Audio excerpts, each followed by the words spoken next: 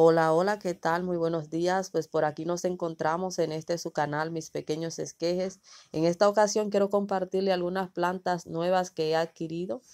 Por ahí le muestro esta euporbia variegada. Hacía un tiempo que andaba detrás de ella. Es un poco, se me hizo un poco complejo de conseguirla. Pues por ahí la tenemos. Tuve la oportunidad de poder pedirla. Y miren qué hermosa. Ven que tengo dos por ahí, pues se dio una pequeña confusión a la hora de comprarla, pues había pedido al junto de ella otra variedad de euporbia que más adelante le voy a mostrar una de ellas. Pero miren, me, me enviaron dos, pero estoy súper contenta de poder conseguirla, pues es bien complejo de poder obtenerla.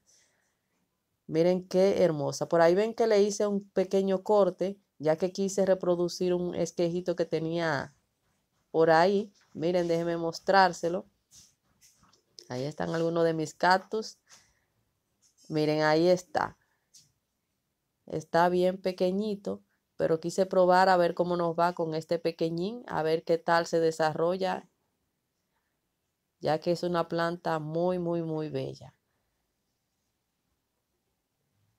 Por ahí le muestro esta de color verde, esta es la normal. Miren qué hermosa está, miren qué grande está esta, que es la madre. Está súper, súper bella. Ahora mismo está en su época de crecimiento. Miren qué preciosa. Yo feliz con ella, ya que es una euporbia que me encanta. También es una euporbia muy especial porque me la regaló mi esposo. Así que ahí la ven, muy preciosa.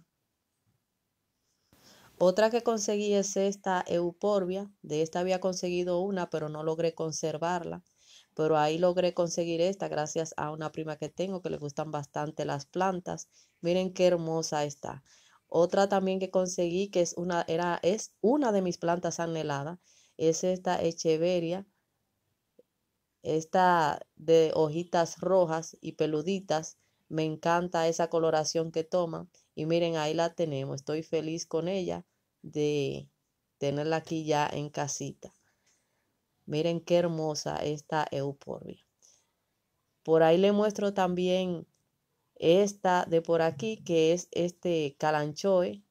Este también me lo consiguió mi prima, aunque está un poco así medio deteriorado. Ella me lo, me lo dio para que pudiera ver cómo se recupera. Y miren, le ha ido bastante bien.